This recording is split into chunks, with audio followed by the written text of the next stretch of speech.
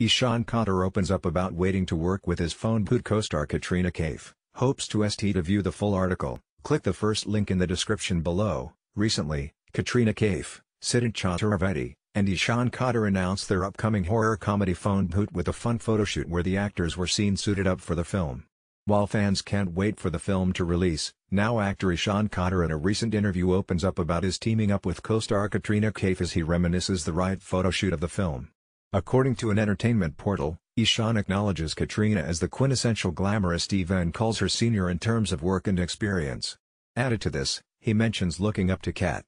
He also reveals that he has been waiting for a long time to work with the actress and hopes to bring out different energies together while shooting for the upcoming. Speaking about the film, the Dhadak actor also added that despite the tough times due to COVID-19, the project is expected to go on floors by the end of this year as he wishes for the situation to improve. He added that while all safety precautions will be taken care of during the production of the film, the team still can't be too caught with the guidelines of sanitization as it will affect their work. For the Unversed, Photo Bhoot is an upcoming horror comedy helmed by filmmaker Gurmeet Singh and produced by Farhan Akhtar and Ritesh Sidhwani.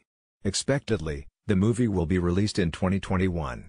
Recently, Katrina Kaif, Siddhant Chaturvedi, and Ishaan Khatter announced their upcoming horror comedy Phone Bhoot with a fun photoshoot where the actors were seen suited up for the film while fans can't wait for the film to release. Now actor Ishaan Khatter in a recent interview opens up about his teaming up with co-star Katrina Kaif as he reminisces the right photoshoot of the film to view the full article. Click the first link in the description below.